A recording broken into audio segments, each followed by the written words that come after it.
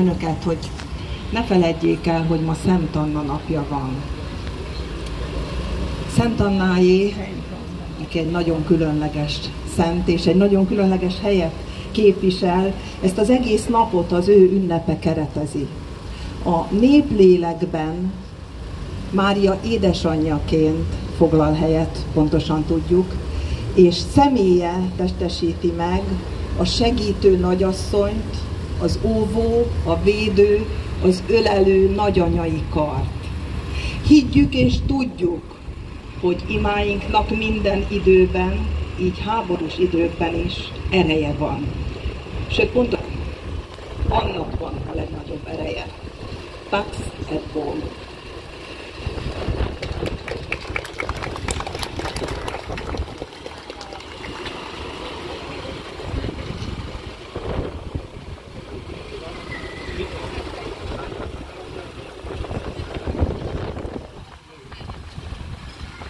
Szeretnék én is elbúcsúzni tőletek. Remélem, hogy nagyon sok értékes információval és érzelmi élménnyel lettetek gazdagabbak a beszédek folyamán. Az elején is elmondtam, értékeljétek át ezeket az információkat, és legyen béke veletek, menjetek el a szomszédaitokhoz, a rokonaitokhoz, és terjesszétek a béke gondolatát, mert ez csak akkor fog győzni, hogyha ez tömegesen elterjed köztünk. És most hallgassuk meg a szózatot.